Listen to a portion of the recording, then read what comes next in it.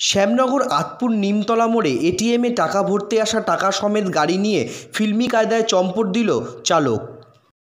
কেনাবেচা এখন আপনার শহরে। সমস্ত দৈনন্দিন জিনিস এখন ঘরে বসেই পেয়ে যান। তাহলে আর দেরি কেন? এখনই অর্ডার করুন কেনাবেচা ডট ইনে বুধবার দুপুর তিনটে নাগাদ শ্যামনগর, আতপুর, নিমতলা মোড় পাঞ্জাব ন্যাশনাল ব্যাংকের এটিএমে টাকা ভরতে আসেন পাঞ্জাব ন্যাশনাল ব্যাংকের কর্মী ও নিরাপত্তারক্ষীরা গাড়িতে রাখা ছিল উননব্বই লক্ষ টাকা।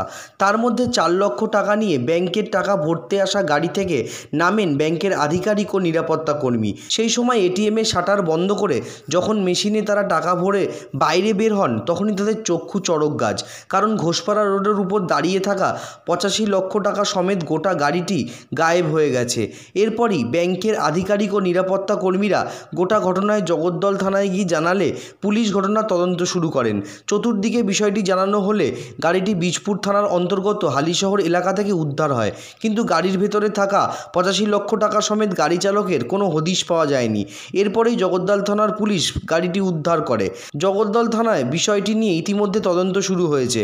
ঘটনা নিয়ে বলতে গিয়ে স্থানীয় এক দোকানদার জানান এটিএমে পাঞ্জাব ন্যাশনাল ব্যাংকে টাকা ভরতে এসেছিল।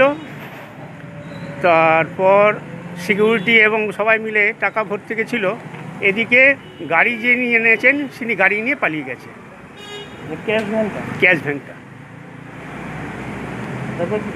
তারপরে আমি পরে শুনলাম যে পুলিশ এসেছিল। এসে কি ইনকোয়ারি করেছি জানি না। এইটুকুই শোনা গেছে। মানে গাড়ি নিয়ে চলে গেছে এইটুকু বলতে পারি। ক্যাশ ভরতেই এসেছিল ক্যাশ ভরতে এসেছিল।